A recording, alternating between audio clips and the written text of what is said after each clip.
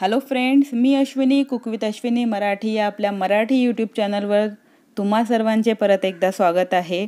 केकच्या या सिरीजमध्ये आज मी तुमच्यासाठी घेऊन आलेली आहे एक साधा आणि सोप्पा केक.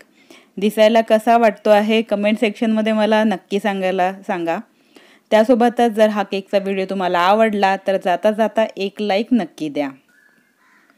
आजचा हा जो केक आहे तो आपण मिक्स फ्रूट फ्लेवरमध्ये बनवणार आहोत. आणि मार्केटमध्ये काही नवीन डेकोरेटिव्ह आयटम्स आलेले आहेत तर त्याचा वापर करून आज मी हा केक डेकोरेट करणार आहे. हा केक डेकोरेट करण्यासाठी मी कुठलंही नोझल इथे वापरलेलं नाही आहे जर तुम्हाला माझे सर्व व्हिडिओज बघायचे असेल तर तुम्ही चॅनलला नक्की सबस्क्राईब करा. सोबत दिलेल्या बेल आयकॉनच्या ऑल या बटनवर क्लिक करा म्हणजे तुम्हाला माझ्या व्हिडिओजचे नोटिफिकेशन तुमच्या मोबाईलवर ऑटोमॅटिकली येत राहील. तर चला आजचा हा केक आपण बनवायला सुरुवात करूया. तर इथे मी आठ इंचाचा केकचा स्पॉन्ज बेक करून घेतलेला आहे. व्हॅनिला प्रेमिक्सचा हा स्पॉन्ज मी बेक करून घेतलेला आहे. त्याला थंड केलेला आहे आणि टॉपची लेअर आपण जी आहे ती थोडी ट्रिम करून घेणार आहोत. आता ही ट्रिम का करायची ते मी सांगते. कारण बरेचदा जर तुम्ही अवनमध्ये किंवा मायक्रोवेवमध्ये केक बेक करत असाल तर जो टॉपचा पार्ट असतो तो थोडा एक्स्ट्रा बेक झालेला असतो थोडा रेडिश झालेला असतो. तर तो नेहमी आपण ट्रिम करून घ्यायचा आहे. जर नसेल झालेला व्यवस्थित असेल तर नाही केला ट्रिम क तरीही चालेल. तर माझा थोडा एक्स्ट्रा बेक झालेला आहे. खाताना तो कडक लागू नये यासाठी मी तो ट्रिम करून घेतलेला आहे. आता त्यानंतर नेहमीप्रमाणे आपण केकला तीन लेअरमध्ये डिवाईड करून घेणार आहोत.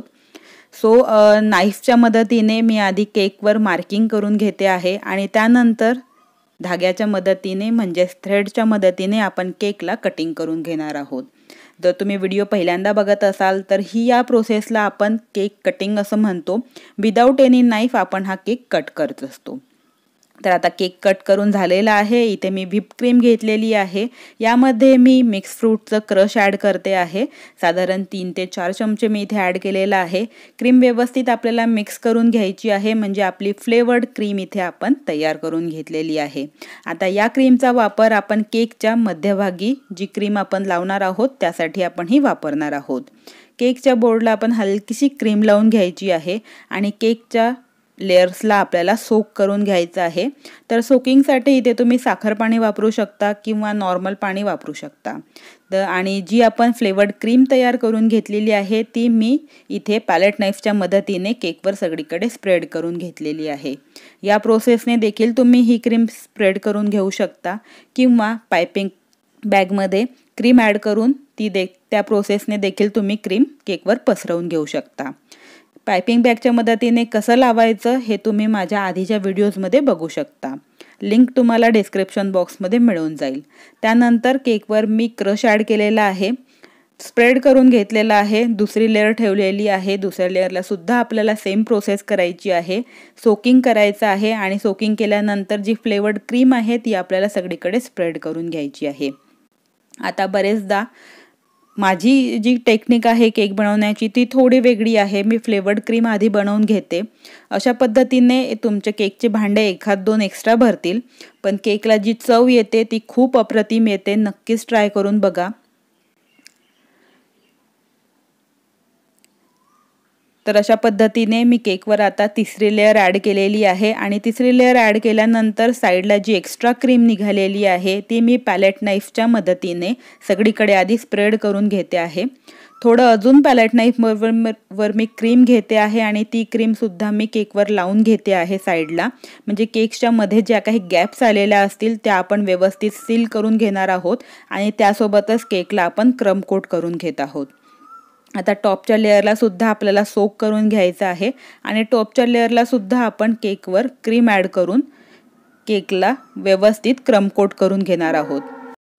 आता बरेच मैत्रिणींच्या कमेंट्स असतात की आमच्या केकची फिनिशिंग व्यवस्थित येत नाही तर त्यासाठी तुम्ही ही मेथड वापरू शकता. केकला क्रमकोट करून ठेवा आधी आणि त्यानंतर तो केक साधारण अर्धा तास तरी फ्रीजमध्ये ठेवा. म्हणजे तो केक व्यवस्थित सेट होईल आणि ब्रेडचे जे काही क्रम्स निघत असतील ते व्यवस्थित सेट होईल आणि मग तुम्ही नंतर फायनल फिनिशिंग करा. याने काय होईल केकची आपली जी फिनिशिंग आहे टॉपची ती परफेक्टली येईल आणि त्यामध्ये ब्रेडचे पार्टिकल्स येणार नाहीत. तर आता हा केक मी साधारण दहा पंधरा मिनटासाठी तरी फ्रीजमध्ये ठेवते. तोपर्यंत आपण इथे वे वेगळे कलरची क्रीम बनवून घेणार आहोत. तर त्यासाठी मी कलर स्प्लॅश कंपनीचा रेड आणि पिंक कलर इथे घेते आहे. कारण मला पीच कलरची अशी डार्क कलरची क्रीम हवी आहे आणि माझ्याकडे सध्या पीच कलरची कलर अवेलेबल नाही आहे. त्यामुळे मी हे दोन्ही कलर ॲड करून क्रीम तयार करते आहे. तर क्रीममध्ये कलर ॲड करताना थोडा थोडा ॲड करा. ज्या कन्सिस्टन्सीची किंवा ज्या कलरची ब्राईट कलरची तुम्हाला क्रीम हवी आहे तो कलर तुम्हाला कलर ड्रॉप्स ॲड केल्यानंतरच मिळेल.